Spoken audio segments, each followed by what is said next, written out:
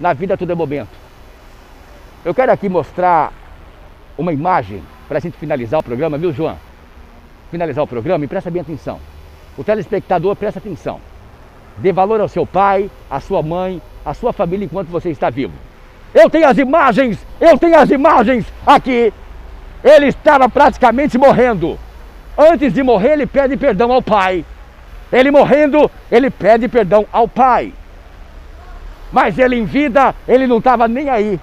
O pai falava, a mãe falava, alguém que estava próximo dele, ei, vamos, vamos, vamos. Ele não estava nem aí.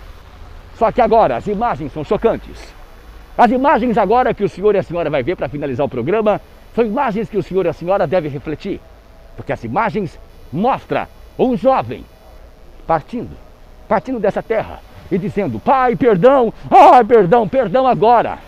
Mas quando ele estava de boa, andando para lá e para cá, ele esqueceu o pai, ele esqueceu a mãe, ele esqueceu quem realmente amava ele. G. Santos mostra. Agradeço a sua atenção, a sua audiência e até o próximo programa. Um abraço, dona Dina Lopes, a nossa diretora e todos da TV Quirimurê. Muito obrigado, João Hold. Muito obrigado por estar aqui com a gente nessa luta. Tá bom?